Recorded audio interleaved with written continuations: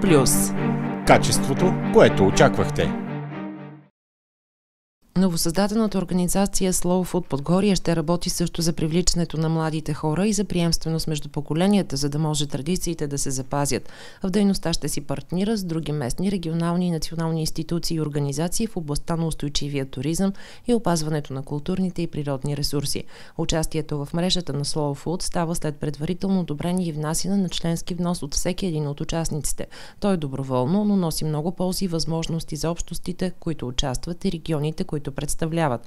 Вярваме, че опазването на традициите в приготвянето на местни ястия и популяризирането им е един от стълбовете при развитието на устойчив туризъм в община Петрич. За да не се загуби това знание, смятаме да работим в посока на приобщаване на младите хора и реализирането на приемственост между поколенията, обобщават от Slow Food Подгорие.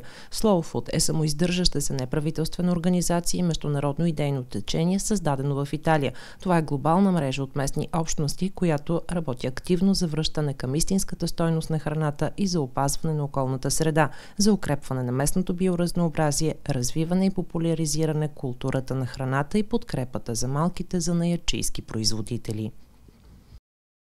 Нет Плюс. Качеството, което очаквахте.